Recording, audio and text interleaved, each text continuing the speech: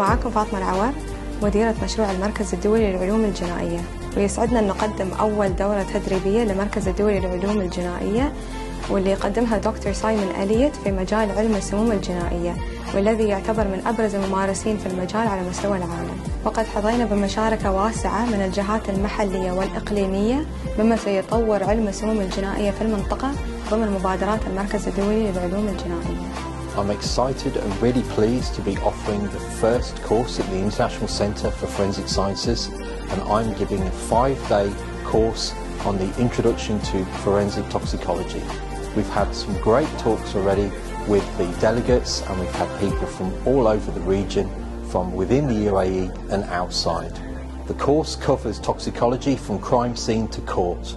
So from the sample selection, the analysis and interpretation and giving evidence in court.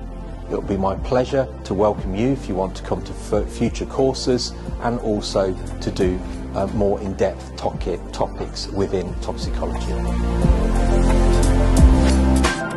اخترنا هالدورة لأنها دورة تخصصية وتفيد مجالنا بشكل مباشر أحب أشكر المركز الدولي للعلوم الجنائية بشرطة دبي على تنظيمهم هذه الدورة المفيدة.